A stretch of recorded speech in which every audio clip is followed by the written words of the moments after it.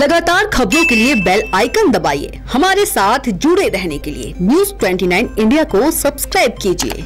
नमस्कार, स्वागत है आप सभी का न्यूज़ 29 इंडिया में। मैं हूँ आपके साथ प्रिया शर्मा।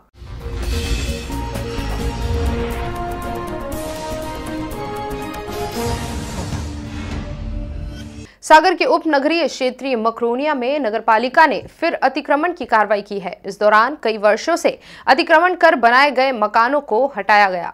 अतिक्रमण की कार्रवाई के दौरान नायब तहसीलदार सोनम पांडे नगर नगरपालिका सीएमओ भुल्ला सिंह चौहान, मकरोनिया थाने की पुलिस भी मौके पर मौजूद रही, जहाँ से अतिक्रमण हटाया गया है। वहीं से मकरोनिया सीएमओ ने कई परिवार के सदस्यों को पट्टा वितरण कर व कुटीर आवंटित करने की घोषणा भी की है। सागर से सुधीर द्विवेदी की रिपोर्ट। ये जो है, ग्राम बड़तुमा की भूमि है। जो कि खसरा नंबर दो सौ उनतालीस बटा पाँच सौ इकसठ है ये, जो कि स्वास्थ्य विभाग को कलेक्टर महोदय के आदेश से आवंटित हुई थी सामुदायिक स्वास्थ्य केंद्र की बिल्डिंग यहाँ पर अभी निर्माणाधीन है, जो इस रहवासी मकान के अतिक्रमण की वजह से बहुत समय से बन नहीं पा रही थी। चूँकि ये विभाग का काम है, स्वास्थ्य विभाग का, इसलिए ये शासकीय भूमि से अतिक्रमण हटाया गया है आज यहाँ पर। और ये चूँकि रहवासी मकान था, इसलिए इनको पर्याप्त समय दिया गया था, समय खाली करने के लिए दिया गया था मकान।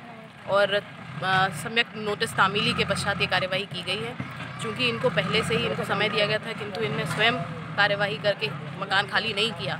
इसलिए आज यहाँ से इनका सामान खाली करवा कर अस्थायी रूप से अभी शासकीय कार्यालय में रखवाया गया है और एक, इनको अलग अलग से पट्टा देने की, बाहर नजूल चुकी भूमि है ये इस ग्राम की, पट्टा देने की कार्यवाही प्रत्यक्ष से चल रही है। लगातार खबरों के लिए बने रहिए न्यूज़ ट्वेंटी नाइन इंडिया के साथ। एक देश, सारे प्रदेश।